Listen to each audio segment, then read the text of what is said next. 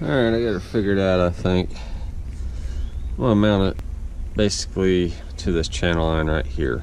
I'm gonna have a plate that's sitting on top coming out as far as needed to bolt that to and then I'm gonna have a plate on the back side going down to this plate or this uh, I don't know if that's channel or angle I think it's channel this piece of channel down here coming up to it welded up there just to give it some strength plate coming out here then I'll have some gussets going from the top to the bottom to the plate I'm going to add just for extra strength and tie it into the top plate coming out here so it doesn't want to fold over.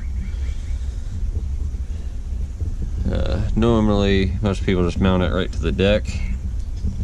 I don't want to do that just because I don't want to, if I have to replace this wood sometime in the future I don't want to have to make it any more of a pain in the ass getting the wood off than what it already is so this being up here will make it where it's not interfering with the wood and taking it out if I need to in the future plus that'll also get me a little bit higher so when I'm going off the back of the uh, trailer with the cable, it's not hitting the trailer as bad, or at all, hopefully. And then, you know, there's a little bonus for mounting it like that.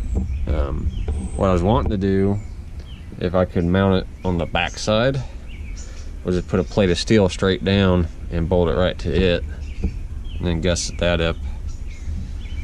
So essentially doing the same thing, just having to add a top piece of metal, which isn't that big of a deal. So I'll probably do it out of a quarter inch plate. I think that'll be more than strong enough. Plus, I mean, I'm never going to probably use this thing to its full capacity. I mean, it's just a, it's just to drag, you know, trucks and cars onto it if they're, you know, if they're dead, can't drive or whatever.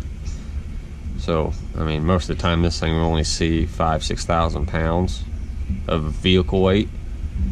The most it'll ever probably see is if I had to like load the, like a dually like mine onto it, which is very seldom but I mean it would do it. It would do it if needed. So I think that'll work. Um, so yeah we'll do that. And I'll get everything uh, measured out and figured out and we'll see up on the plasma cutter.